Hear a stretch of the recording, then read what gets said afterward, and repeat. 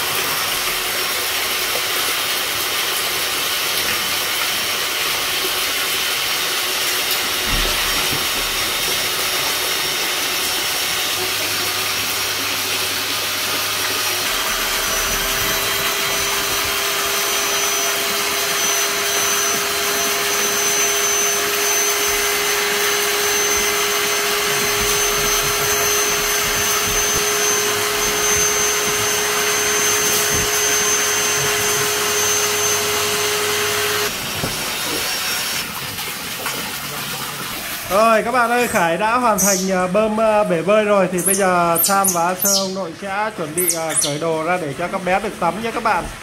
Ồ, Sau khi ăn thanh long xong thì nhìn Sam và Sơ rất đẹp trai luôn các bạn. Rồi, wow à, asher and à, Sam uh, very good there. Wow, oh my god Sam boy. Oh, oh Sam boy. Wow. Wow, ampun. Oh.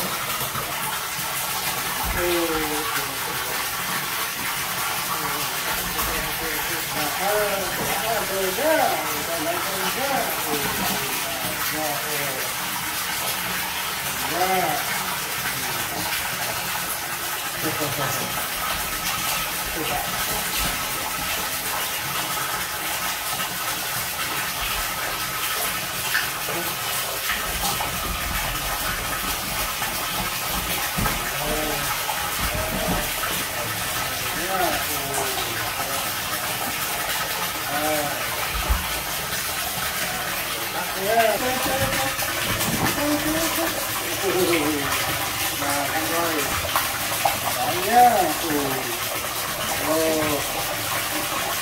Nào, tụi con Tụi con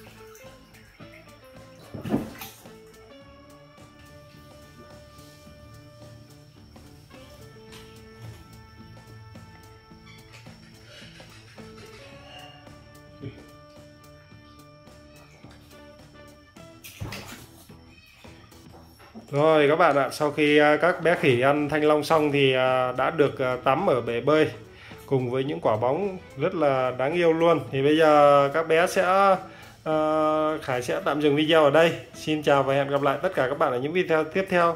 Goodbye see you again. Bye bye các bạn. Bye bye.